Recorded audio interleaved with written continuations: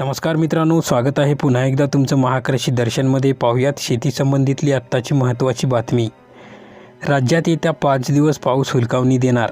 चला तर पाहुयात काय आहे याविषयीची सविस्तर बातमी. येत्या पाच दिवस पाऊस हुलकावणी देणार असल्याचा अंदाज हवामान खात्याने सध्या वर्तवलेला आहे. मराठवाडा विदर्भ खानदेशात पुरेशा पावसाअभावी चिंताजनक परिस्थिती सध्या निर्माण झालेली आहे. यामुळे सुरुवातीच्या पावसाने सुखावलेल्या बळीराजाच्या चिंतेत पुन्हा एकदा वाढ होणार आहे. राज्यातील पुढचे पाच दिवस हे कोरडेच राहणार असल्याचा अंदाज हवामान खात्याने सध्या वर्तवलेला आहे. मान्सूनचा अक्ष बदलल्याने उत्तर भारत ईशान्य भारतात मोठ्या प्रमाणावर पाऊस सध्या सुरू आहे. त्यामुळे दक्षिण भारतासह राज्यात मान्सूनने पाठ फिरवलेली आहे. याचा परिणाम म्हणून सतरा जुलैपर्यंत राज्यात कोकण वगळता इतरस्त कुठेही पाऊस पडणार नसल्याचा अंदाज भारतीय हवामान खात्याने वर्तवला आहे. कोकण वगळता उर्वरित राज्यात काही ठिकाणी हलक्या सरी बरसण्याची शक्यता हवामान खात्याने वर्तवलेली आहे.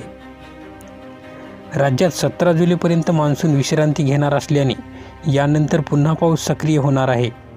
दर मोसमामध्ये मान्सूनचा अक्ष एकदा दोनदा बदलत असतो ही सामान्य बाब आहे. यातच यंदा राज्यात मान्सून दोन आठवडे उशिराने दाखल झाला असल्याने मराठवाड्यात आधीच पाऊस कमी पडतो.